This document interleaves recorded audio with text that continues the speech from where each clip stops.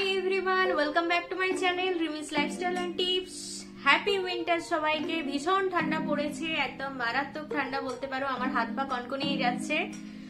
Agar তুম সাথ হো আর মানে সত্যি গানটা অসম্ভব ভালো এয়ার রহমানের মিউজিক ডাইরেক্টর মিউজিক কম্পোজিং করেছেন ওনার তো কথায় বলার কথাই নেই ওনার যে কটা গান হয় সেগুলোই মানে সুপার হিট মিউজিক মানে অন্যরকম সেন্সেশন আনে অন্যরকম ফিলিংস আনে তো সেই সেই গানটা হচ্ছে তামাশা সিনেমা থেকে রণবীর কাপুর দীপিকা পাড়ুকোন অসম্ভব কষ্টের গান পেনফুল গান। তো এটার প্রচণ্ড ফিলিংস দিয়ে গাইতে হয়। অরিজিৎ সিং গেয়েছিল। আর আমি তো সত্যি কথা আগেই তোমাদের কাছে ক্ষমা চেয়ে নিচ্ছি। আমি আর্টিস্ট নই গানের। আমি জাস্ট গানটা শুনতে শুনতে গানটা ডাবল ট্র্যাকে ফেলে ইকো ইফেক্ট করেছি।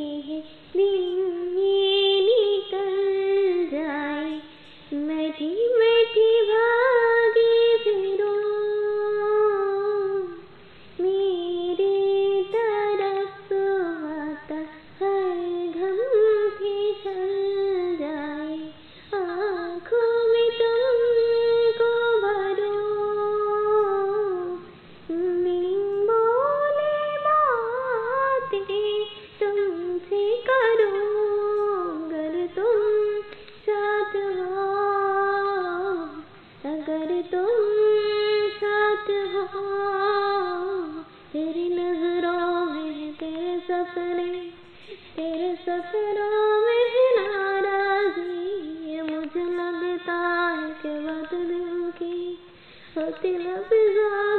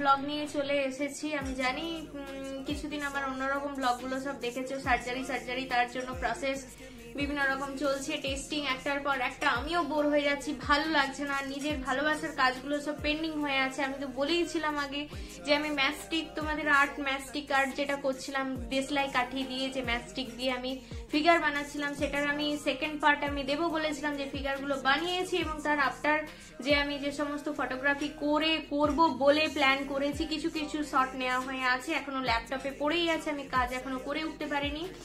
একটার পর একটা টেস্টিং করতে ছুটছি, কলকাতায় ছুটছি, বারবার আর ভালো লাগছে না এরকম একঘেয়েমি। আর মানে আমার নিজের যে ব্লগিং এর কাজগুলো নিয়ে আমি ভাবতে পারছি না, তো সেই পেন্ডিং টাস্কগুলো তো পড়েই আছে, তো সেগুলো আমি কবে দিতে পারব জানি না, তার জন্য আগে থেকে সরি চেয়ে নিচ্ছি, কারণ পার্ট টু আসার কথা ছিল, আমি আগেই তোমাদের বলে রেখেছিলাম। তারপরে তো আরও কিছু ব্লগ আমার জন্য মানে আমার সেগুলো পেন্ডিং হয়ে আছে, আমি কাজগুলো গুছিয়ে উঠতে পারিনি। তো তারই মধ্যে আজকে ইচ্ছে হলো, আজকে গানটা ভীষণ শুনতে মানে ভালো লাগল, কারণ কালকে আমি আমার পৌঁছলো আমি একটা ফেসবুকে আমি দেখছিলাম মানে হিনা খান। হিনা খান শেয়ার করেছিল, খুব সুন্দর গান গায়। তোমরা জানো যে বল- বলিউডেও মানে আমাদের টিভি অ্যাক্ট্রেস টিভি সিরিয়ালের আর খুব ভীষণ মিষ্টি গলা এবং সত্যিকারের যারা ট্যালেন্টেড আর্টিস্ট হয় মানে তাদের যে কত রকম ট্যালেন্ট থাকে মাল্টি ট্যালেন্টেড হতে হয়, এমনি বলিউডে এইরকম জায়গা মানে করা যায় না। যেমনি সবকিছু মেনটেন করে ফিগার থেকে শুরু করে ওর সমস্ত গ্রুমিং থেকেও একটা এক্সট্রা অর্ডিনারি টাইপের মেয়ে আমি ভীষণ ভালো লাগে। ওর বিগ বসেও খেলেছে কাতরাতে মেয়ে খিলাড়ি বোধ হয় এই সমস্ত খেলেছে, আমার ঠিক জানা নেই। তো ভালোই, বেশ আলাদা ধরনের মেয়ে। তো যাই হোক, সেই হিনা খানের অসম্ভব সুন্দর গানটা ভালো লাগল। মানে তখন রাত্রেবেলা শুয়ে পড়েছিলাম। কালকেই আমি তাহলে তখনই শুনতে শুনতে বার পাঁচেক, ছয়েক শুনেছি। শোনার পরেই গানটার, আমি তো গানটা জানিও না ফুল লিরিক্সটাও জানতামও না। তো সেটাই দশ বার শুনেছি। দশ বার শোনার পর মনে হলো গানটা কানের মধ্যেই বাজছে বাজছে বাজছে বাজছে। সারা দিনটা মনে হচ্ছে গানের মধ্যে বুঁদ হয়ে যাচ্ছি। এত সুন্দর এক একটা গান যখন মাথায় ঢুকে যায় না, সেটা থেকে বেরোতে পারি না, এটাই আমি তোমাদেরকে বলছি। আর সেটা থেকে বেরোতে পারি না বলেই মনে হয় যেন এটা তোমাদের কাছে একটু করি। ভুল, ত্রুটি, যা হোক প্লিজ ক্ষমা করে দিও, কারণ আমার এখানে কিছু করার নেই, কারণ আমি আর্টিস্ট নই, আমি আগে ক্ষমা চেয়ে নিচ্ছি। আমার ভুল, হাজারো ভুল থাকবে, আমি এত সুরেলা কণ্ঠ আমার নয়, আমার গলা দিয়ে চেষ্টা। আর অবশ্যই ব্লগটা ভালো লাগ- লাগার, লাগানোর চেষ্টা করেছি, তাই আমি আমার দর্দ দিয়ে গিয়েছি, আমার কষ্ট দিয়ে গিয়েছি সেটাকে মানে যতটা আমার চেষ্টা সাধ্য মতো ভীষণ ফিলিংস ইমোশনের গান। তো তোমাদের আশা করি ভালো লাগবে। আর ভালো লাগলে অবশ্যই আমার গানটা তোমরা শেয়ার করো বন্ধুদের সাথে। খালি গলায় গাওয়া গান কিন্তু খুবই কঠিন ব্যাপার। এই আজকের ব্লগটা তোমরা দেখো আর কন্টিনিউ অবশ্যই ফুল স্কিপ করবে না গানটা শুনবে। আর লাইক কমেন্ট শেয়ার করতে ভুলো না। তোমাদের কিন্তু এটা খুব জরুরি আমার কাছে। খুব এটা আমার খুবই রিকোয়েস্ট করছি। আর প্লিজ যারা নতুন দেখছ, তারা চ্যানেলটাকে সাবস্ক্রাইব করে দিয়ে যাও। আর কিছু বলছি না থ্যাঙ্কস ফর ওয়াচিং আবার কোনো নতুন ব্লগ নিয়ে আসব, তো আজকের মতো আমার গানের ব্লগেই থাকুক। ওকে চলো, tata bye bye take care happy winter and be safe